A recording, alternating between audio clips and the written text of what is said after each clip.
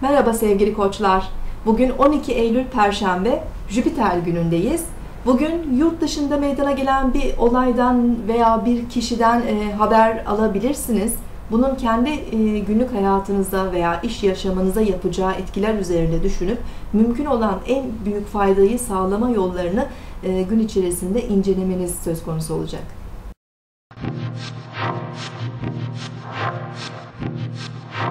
Burcunuzu dinlediniz. Bugün 12 Eylül Perşembe, Jüpiter günündeyiz.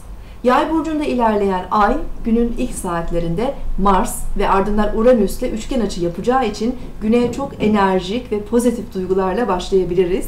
Kendimizi daha rahat, özgür, neşeli, iyimser hissedebileceğimiz bir gün olacaktır. Motivasyonumuz artacağı için çeşitli girişimler için kendimizi daha cesur hissedebiliriz. Fiziksel aktivite gerektiren uğraşlar ve spor için de uygun bir gündeyiz.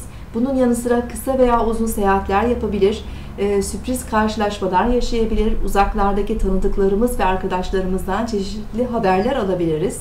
Eğitim, hukuksal konular, medya ve yayıncılıkla ilgili işler için de bugün çok verimli olabilir.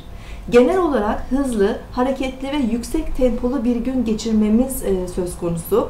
Akşam e, 20.09'dan itibaren Ay güneşle kare açı yapacak ve ardından boşluğa girecek.